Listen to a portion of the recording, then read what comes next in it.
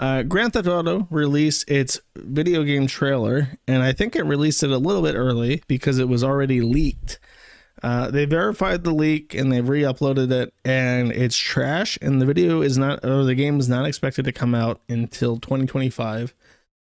Um, I didn't, I didn't really like GTA 5. My issue with GTA 5 is that, um, the number one, I the heist mechanic was so promising but so fumbled.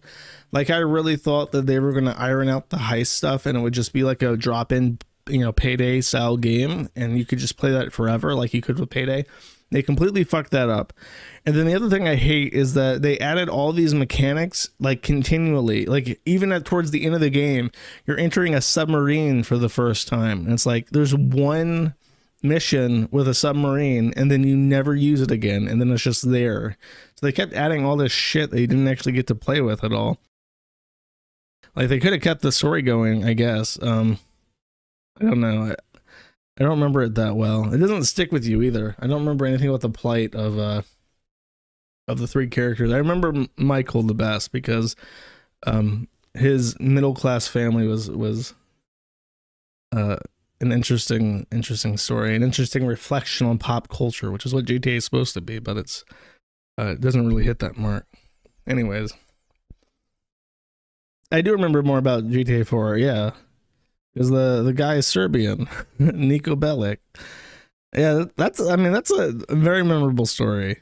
Um, it's also more classic, and it's, I don't know. I don't want to talk too much about video games, but here's what they here's what they've decided to do with their pop culture shit for this one. You want to see black people booty clapping on the streets on the beaches of Miami? Shit. Where is it? Where's the beach scene? This is like oh, it's right here. This this is what the Thai artist paid to produce this video game. Think about America. And by the way, this is in Miami. This is um specifically in Broward County. Broward County County is um Hispanic. It's not black. Broward County is like um uh, it's like a minority black. I want to say there's as many black people as white people, but the rest of it is just Hispanic. So it's not like it's not this shit is what I'm trying to say. Who would want to play a game in in Miami though? I mean the cool I remember I, I played GTA uh, Vice City and the thing that was most memorable about it was that it would have um uh, hurricanes every so often, which was pretty nice. I don't know. I'm not hyped for it because I know what it's going to be. I know that it's going to be another fucking live service.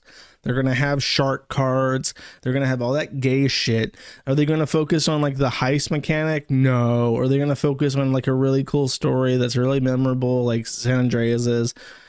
No, they're not going to do that. It's just to be fucking shark cards. Everything that's in the game is just to be like an advertisement to play with the shark cards after the stories are over. And there's not going to be any any meaning to any of it, and it's not going to be a an, a meaningful reflection of pop culture. There's not going to be a scene where you have to shoot up a gay pride parade, or you have to like like like fight neo Nazis at like a tiki torch rally or anything. It's not going to do any. It's going to be the most tepid, bland, insipid, annoying.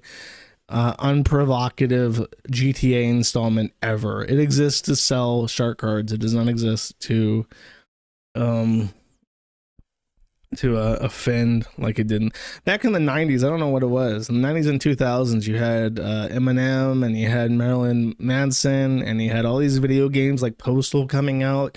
And like the entire premise of it was to like shock audiences and cause controversy and piss people off. But nowadays you can't do that. You do that and you, you can't uh, sell any shark cards because your bank account's been fucking closed and your uh, CEO has been put into jail for terrorism or some shit. I don't know. It's just kind of depressed. Like this is another franchise thing where it's just like I remember when this was good. That's how I feel about almost everything. I remember when this didn't suck so much shit, chat. I didn't even play Red Dead. I'm sorry. never got around to it. I never had any interest in being a cowboy, I guess. I don't know. It's not really my uh my my field of reference. Um Oh, this is this was really gay. I included this as an aside. Uh, Dan says list of games I have not played: GTA, GTA 2, GTA 3, GTA 4, GTA 5, or GTA 6. Elon Musk adds, "I tried, but I didn't like doing crime. GTA 5 required shooting police officers in the opening scene. I just couldn't do it." Which is like, I don't know. He's an old man. I know he likes to think that he's hip and cool, and I know that he likes to smash young retarded box as like a way of maintaining his youth. But I can kind of see someone born in the 80s in South Africa being like, I actually like police officers. They parole my gated community in Emerald Mine and keep the darkies out. I never saw a black man until I was 13 and moved to Canada. Like that, that kind of perspective, I understand um, from Elon. However, however, chat, well, it's fun to make fun of that. The real kicker is in the reply here, and he says, uh, I'm glad shooting cops in Cyberpunk 2077 is completely optional. Never finished GTA 5 either. Ian Miles Cheong is one of the most pathetic dingleberries ever. I have no idea how this man has achieved as much success as he has. There must be something about his useful doormat face that everyone can just walk over that has managed to find a niche to aggregate content on the internet. But it's just like this man has not found a dick he's not willing to suck. And I kind of hate him. I've never interacted with him. I'll always remember as that guy that shows up on the kill stream with Intoxic Ethan Ralph and was a member of Gamergate. I'll never take him seriously as a journalist.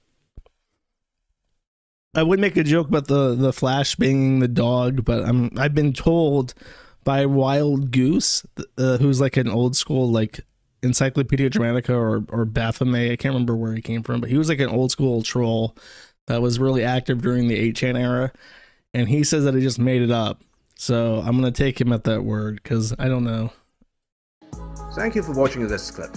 This is the CAC Remember to like and subscribe.